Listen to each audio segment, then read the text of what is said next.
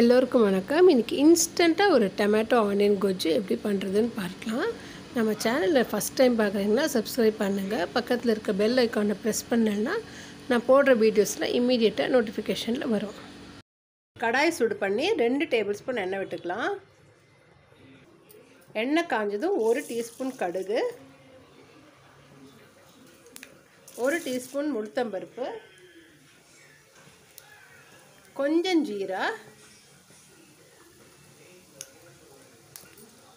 ஒரு மிளகாவத்தில் கிள்ளி போட்டுருக்கேன்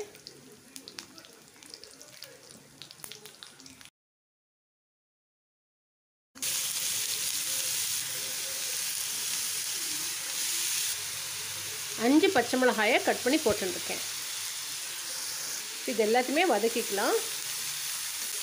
கொஞ்சம் உப்பு போட்டுக்கலாம். ஸோ வெங்காயம் வந்து சீக்கிரமாக வதங்கிடும்.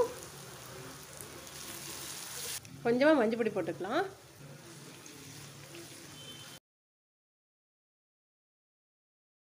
அஞ்சு டொமேட்டோவை கட் பண்ணி வச்சுருக்கேன் அது இதில் போட்டுருக்கேன் நிறைய பேருக்கு இது எப்படி பண்ணணும்னு தெரியும். இது ஜஸ்ட் ஒரு பிகினர்ஸுக்காக இது போட்டிருக்கேன். அவ்வளோதான் மூடி போட்டு வேக வச்சுடலாம். ஓப்பன் பண்ணி பார்க்கலாம். நல்லா எண்ணெய் விடுற வரைக்கும் வேக வச்சுக்கலாம். இதில் கொஞ்சமாக ரெட் சில்லி பவுடர் போட்டுக்கலாம். அதையும் போட்டுட்டு மிக்ஸ் பண்ணிடலாம்.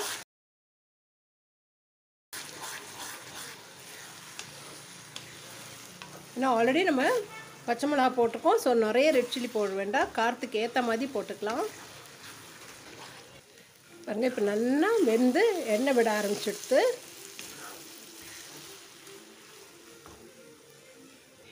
இது மேலாக நிறைய கொத்தமல்லியை தூவிடலாம். ரொம்ப நல்லாயிருக்கும் நிறைய கொத்தமல்லி போட்டோம்னா நல்ல வாசனையாக நல்லாயிருக்கும் இது எல்லாத்தையுமே மிக்ஸ் பண்ணிடலாம். உப்பு காரம் ஒரு வாட்டி செக் பண்ணிவிடுங்க இன்ஸ்டன்ட் டொமேட்டோ கொஜ் ரெடி. ஸ்டவ் ஆஃப் பண்ணிடலாம். நம்ம பண்ணியிருக்க டொமேட்டோ கொஜ்ஜை ஒரு சர்விங் பவுலுக்கு சர்வ் பண்ணிடலாம்.